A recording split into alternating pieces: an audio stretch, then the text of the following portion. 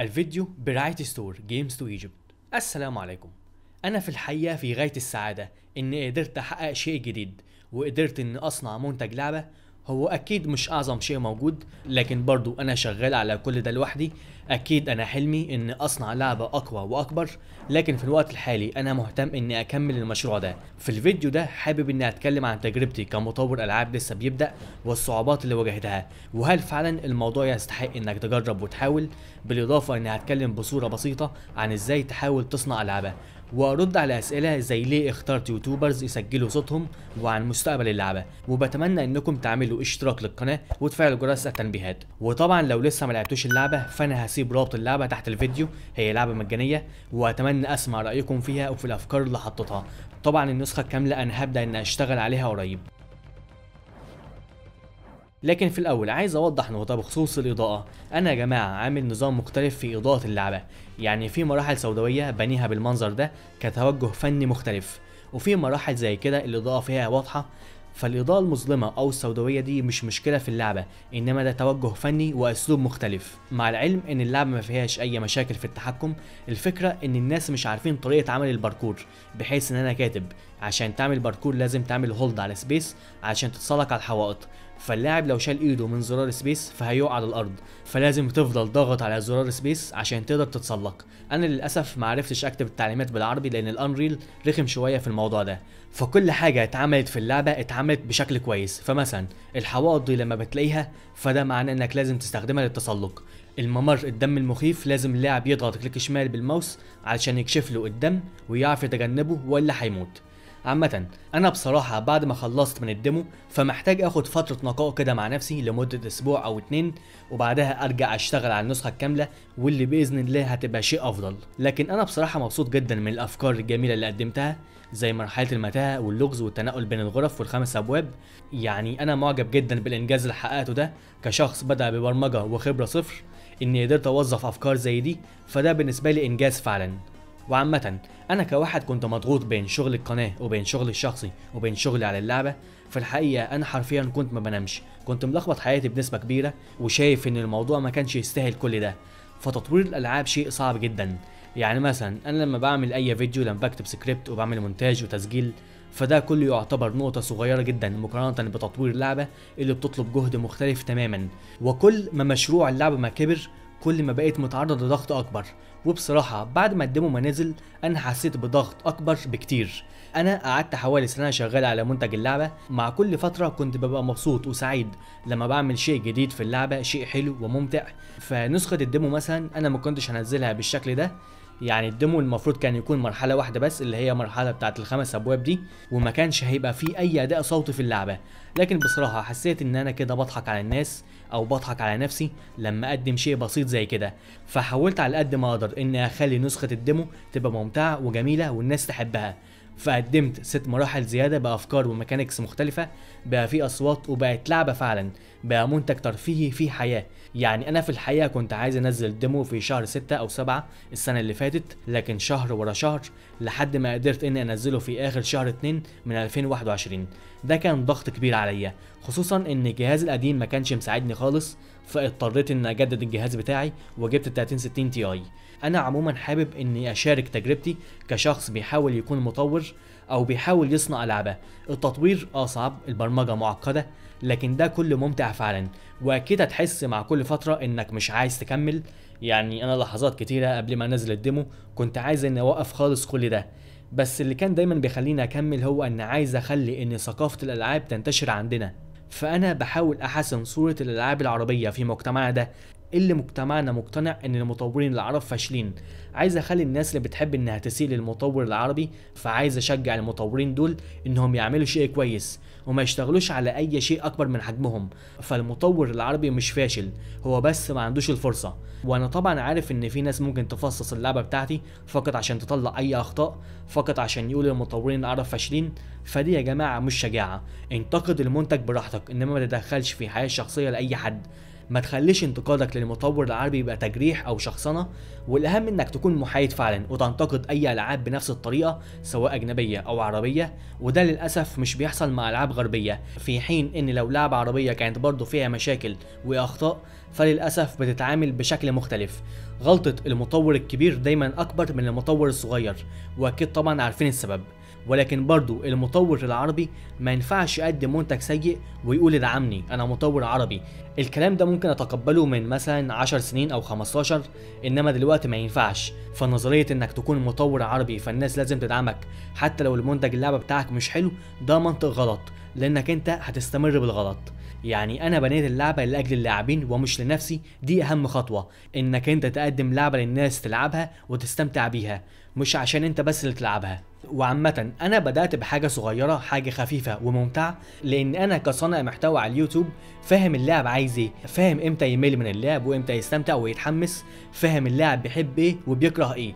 لذلك في نسخة الديمو كنت دايما بحط شيء ممتع للاعب شيء يحسسه بالترفيه ويحسسه إن ده منتج لعبة مختلف عن أي شيء عربي لعبه قبل كده. المطور العربي بيعتقد إنه لو اشتغل على حاجة صغيرة فهو كده بيهين نفسه أو بيهين كبريائه مش عارفين إن المشروع اللعبة كل ما كبر كل ما بقى صعب إنك تسيطر عليه. ومعظم المطورين الكبار اللي بقى لهم عقود في الصناعة بيشتغلوا على قد إمكانياتهم. ودول اسمهم دارسين برمجة وتطوير وفريق كامل. إنما المطور العربي بيعمل نفسه جامد ويقول لك أنا هجتاز كل العمالقة دول وهبقى أجمد من مطورين Rockstar وهعمل حاجة قوية. وفي النهاية بيفشلوا. فأهم حاجة التوظيف الصح للي أنت عايز تعمله. فأنا عملت اللعبة دي كنسخة demo بخبرة صفر. بدأت أول حاجة بمحرك Unity حسيت إنه مش ملبي احتياجي. الكلام ده في 2019 تقريبا فتعقدت خالص من الموضوع ولغيت الموضوع كله من دماغي. بعدها بفترة أظن نهاية 2019 قلت أجرب أدي فرصة تانية للموضوع وأجرب أشوف محرك الأنريل. وفعلا لقيت الأنريل إنه مناسبني أكتر فاتنقلت للأنريل. وأكيد هو معقد أكتر من يونيتي مشكلة الأنريل بشكل عام إنك لو ما اتعاملتش معاه صح فهيدمر لك لعبتك. عامة أنا بدأت الأول بمشروع كده بايظ للعبة منظور أول شوتر كان فيها أسلحة وبيئة قابلة للتحطيم وذكاء اصطناعي وأعداء حاجة كده شبه Half-Life على Red Faction وبرضه حسيت إن المشروع ده أكبر من ان أعرف أتعامل معاه خصوصا لأن في بدايتي. فأجلته لأن في الوقت ده أنا حرفيا كنت بعاني. وقلت أجرب أشتغل على حاجة أصغر وأعرف أسيطر عليها وده كانت لعبة بارانكور كأول مشروع فعلا أقدر أخليه منتج لعبة. والحمد لله ربنا كرمني وقدرت أنزل نسخة قصيرة للتجربة والحمد لله عجبت الناس. أثناء شغلي على اللعبة دي واجهني أخطاء كتيرة أثناء التطوير فمحرك الأنريل محرك صعب لازم على طول يجيب لك أخطاء أثناء الاختبار واللعب لكن قدرت إني أصلحها كلها. أهم حاجة إنك تعرف أنت بتعمل إيه وتفهم اللي بتعمله وتتغلب على أي مشاكل بتحصل والأهم إنك تلاقي حلول لأي شيء.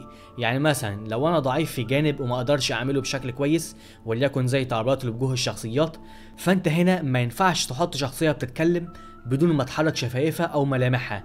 فالحل مثلا إنك أنت تلبس الشخصية دي قناع يغطي على منطقة الفم. وفعلا أنا ده عملته مع الشخصيه اللي عملت صوت دراد أو كمان خليت معظم الشخصيات اللي تكلم اللاعب فهم بيتكلموا من مكان أنت مش بتشوفهم. إنما بتسمع صوتهم بس. وكمان إيه أخليك مقتنع إن الشخص اللي بيكلمك ده بيراقبك وبيكلمك من خلال مثلا الميكروفون. أو حتى الشخص اللي اسمه جافن في فقرة بيقول فيها إنه صوت بلا جسد فممكن يبقى روح أو ممكن يكون شخص ميت فبالتالي شفايفه مش هتتحرك أثناء الكلام. فلازم تلاقي حلول. يعني الغلطة بتاعت مطورين فرسان النور أنا شايف انهم ما كانوش عارفين يلاقوا حلول زي كده وده غلط. فالتطوير مش مجرد زراير وكود ولكن لازم تشغل دماغك. فأنت لما بتعمل لعبة قدامك كذا تحدي. أنا اولا ما أنصحش حد يشتغل على لعبة لوحده الموضوع عذاب ومعاناة. أنت في البداية ممكن تتوقع إنك أنت تقدر تعمل لعبة لوحدك إنما بعد كده هتلاقي مجهود بقى صعب. فمثلا أنت أول تحدي قدامك هو البرمجة زي الميكانيكس اللي اللاعب هيستخدمها. لو في أعداء لازم تبرمجها بشكل كويس وأهم عامل وهو أنت عايز تعمل إيه؟ واللي انت عايز تعمله ده هل هو مناسب مع فكرة لعبتك؟ وهل هتقدر تعمله ولا لأ؟ فانت ما ينفعش تقيس خبرتك بمطورين زي بتوع ليتل نايت مير أو بتوع اوري أو هولو نايت أو كاب هيد كل لعبة من دول بالرغم إنها مشروع مستقل لكن فيها محتوى جبار فيها انيميشن مذهل فيها معارك قوية في منتج لعب فعلا. تفتكروا هل ممكن مطور واحد يصنع أي لعبة من دول؟ مستحيل. فالأحسن إنك أنت تكون فريق صغير وليكن خمسة مثلا ولكن برضه ما تتوقعش إنهم يكونوا معاك للأبد. بحيث إن دي برضو مشكلة لازم تخلي بالك منها. لأن في الوطن العربي الناس بتزهق بسرعة. يعني مثلا صاحبك ده اللي هيكون معاك ممكن يكون متحمس معاك لمدة شهر ويقول لك هنعمل ونسوي وبعدها يختفي. ممكن ييأس ممكن يمل ممكن تجيله فرصة عمل محترمة في مجال اللي هو متخرج منه فيهرب منك وما تقدرش تمنعه أو تلومه. هو شغال معاك بالحب أو بشكل ودي بحيث إنه مش بياخد منك مقابل. لكن برضه ما تقدرش تشتغل لوحدك لأن زي ما قلت التحديات اللي قدامك هتزيد. فبدل ما أنت تكون مبرمج بس فهتبقى كمان مصمم مراحل واصلا الإضاءة وتوظيفها محتاجة شغل لوحده. بالإضافة لمسألة تصميم البيئات والمجسمات ال 3 دي فده كله بيطلب مجهود. برضه ممكن واحد يجي يعمل نفسه ناصح يقول لك أنا هعمل لعبة 2 دي ماشي أحترم ده. وأكيد اختيار كويس إنك تبدأ بحاجة زي كده. ولكن إيه اللي يميز ألعاب ال 2 دي هما حاجتين. الخلفية اللي وراك واللي طبعا كل ما بتمشي متر زيادة فالخلفية بتمشي مع اللاعب. فالخلفية لازم الصور اللي فيها تتغير مع كل متر. فأنت محتاج رسام 2 دي محترم يرسم لك خلفيات كتير. والحاجة التانية هي الانيميشن في العاب ال 2 دي لازم يبقى مبهر ودي محتاجة مجهود خرافي برضو. فالموضوع يا جماعة مش بالبساطة دي اللي انت بتحاول تتصورها ودي عامة أكبر غلطة بتدمر أي حد وهو إنه مش حاطط أسس للعبة اللي هو عايز يعملها فداخل كده وخلاص وده أكبر غلط. يعني مثلا أنا بشوف ناس كتيرة مطورين عرب يقول لك أنا هعمل لعبة 2D ولما اتكلموا على ال animation أو الخلفية مش بيعرف يرد. فالناس دي للأسف مش فاهمة النقطة دي فبيشتغلوا وخلاص. السؤال إيه اللي يخلي لعبة زي Hollow Knight تنجح بالشكل ده؟ المعارك اللي فيها الخلفية ال animation تصميم الزعماء. أو لعبه Gris شايفين شكل الخلفيات إزاي؟ أو التوجه الفني وجماله؟ أو المجسمات المتصممة بالشكل التحفة؟ بلاش دي. لعبه Claw أيوه Claw بتاعت Windows 98 دي لو قدرت تعمل زيها أو زي ال Super Meat Boy فاقدر أقول استمر وكمل. فأنا مش بحبط غيري ولكن بوعيه. أقول تاني ما ينفعش تدخل دخلة همجية من غير ما تفهم أنت عايز تعمل إيه. فالمطورين العرب مش فاشلين إنما هم عجولين أو مستعجلين والتطوير محتاج صبر محتاج تفهمه الأول قبل ما تقرر هتعمل إيه. أنا عانيت لحد ما قدرت أعمل اللي أنتوا شايفينه ده واصلا أنت مش مضطر إنك تعمل لعبة. ففي ناس عايزة تفضل زي ما هي ولكن أنا بحاول دايما أجدد وأطور من نفسي. فأنا ابتديت كصانع محتوى على اليوتيوب عملت فيديوهات كتيرة عجبت ناس كتير شاركت آرائي ليهم في التهم لكن دلوقتي أنا عايز أجرب شيء جديد في حياتي عايز أجرب إن أصنع أول لعبة وأتمنى إنها ما تكونش الأخيرة. مشواري طويل وصعب لكن مبسوط من اللي أنا قدرت أحققه طبعا بشكر كل الناس اللي شاركوا معايا في تسجيل صوتهم في اللعبة. يا ريت تجربوا اللعبة وتقولوا لي رأيكم بيها بشكل عام والأفكار اللي قدمتها. وأحب أكد عليكم برضو لو حابين تتبرعوا للمشروع اللعبة فأنا هسيب رابط تبرع تحت الفيديو. وبالنسبة لسؤال أنا ليه اخترت YouTubers؟ لأن ال YouTubers دايما عندهم معدات محترمة وكمان أسلوبهم في الإلقاء بيبقى جامد. لذلك اخترت YouTubers يعملوا أداء صوتي لشخصيات في اللعبة. أما بالنسبة لمستقبل اللعبة فأنا جديا بفكر أحول الكاميرا وأخلي شكل الشخصية يظهر كامل. هي عملية متعبة لأن ده معناه إن كل ال coding اللي عملته فهيتعاد من الأول. أنا لحد ما قدرت أظبط ده بشكل خفيف ودي أول نتيجة. يعني أنا لو أخدت سنة في بناء اللعبة فممكن آخد حوالي 6 شهور بس لتعديل القديم.